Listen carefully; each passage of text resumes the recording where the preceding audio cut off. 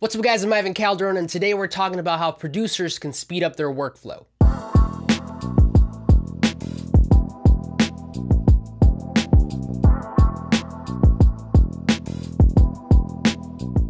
Now, I can't tell you how many times when I first started to produce, I would get an idea, but by the time I set up my desk and I opened up the software, loaded the VSTs, and routed everything, the inspiration was no longer there. Now, I'm sure some of you guys can relate to this story, but in an effort to never to have to deal with that again, I started to work in templates, and that is exactly what we're talking about today. Now, I know templates are not the sexiest topic in the world, but I promise you, once you implement one that works for you and you use it every day, not only will your productivity increase, but also your output, and that's what we want want, right? You wanna make more beats, you wanna make more songs. Now in this video, I'm gonna be showing you guys my production template, how I set it up and how I use it, so let's jump right in. Now if you guys take a look, I actually have a couple templates in my arsenal. The first one that you see here is a beat mixing template, which is the one that I use to mix my own beats or beats for clients. The second one is a production template, which we're gonna be talking about today. This one I use to make my beats.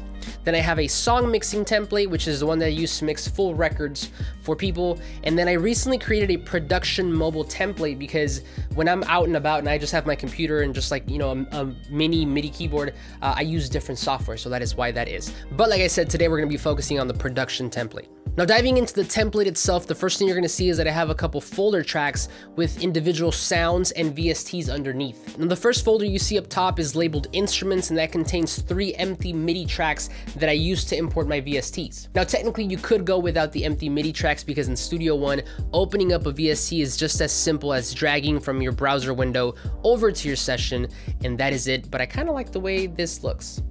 Now tracks 2 and 3 are always empty in case I want to add more VSTs, which I tend to do, but number 1 always has a piano. The reason for this is because a piano for me is easier to hear chords and notes in, so when I'm producing I want an instrument, I want something that can help me lay down an idea quickly, and then because we're working in MIDI later on if I want to switch this to like a pad or like a different kind of piano, I can do that by swapping out the sounds. So for example, I have a little bit of a recorded thing here with the piano, and let's say I record that in.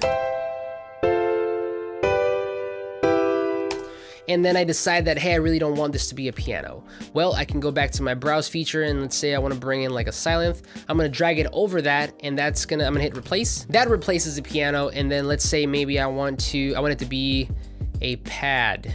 So I'm to go over to, I don't know what that sounds like, but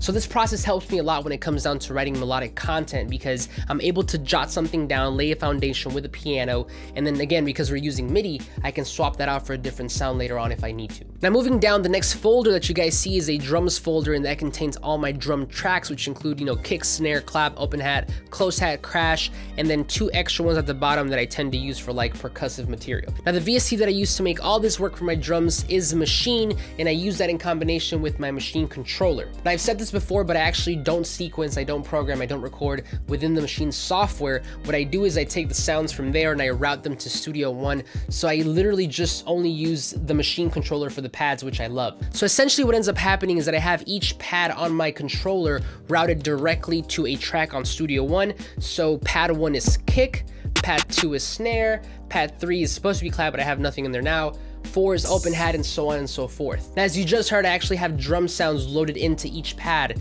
and that's not to say that I use these sounds for every beat, but again, it's just kind of like the piano. Sounds that are ready, things that are ready to go in case I want to lay down an idea, because at the end of the day, this is MIDI. If I lay something down and I don't like the sound of the snare or the kick, I can swap those out later, but that pattern stays there no matter what. Now, last but not least, if we take a look at my mixer, you'll see that everything is routed how it's supposed to be.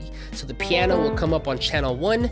If you go down to the drums and play the kick, it'll show up on channel 2, snare, channel 3, and so on and so forth. Now this is helpful because it allows me to control every sound individually and kind of gives me the opportunity to create a rough mix as I'm producing. Now that in essence is my production template and like I said, it's not the sexiest topic in the world, but as, as a producer, a mixer, a creator, whenever we get those bursts of inspiration, we have to capitalize quickly you don't really want to be slowed down by the technicalities of your software. So having something like this helps you get over that hurdle so you get to which is what matters in the end. But that's it for me guys. Thank you so much for watching. Like this video if you liked it, subscribe if you're not already, but I will see you guys on the next one.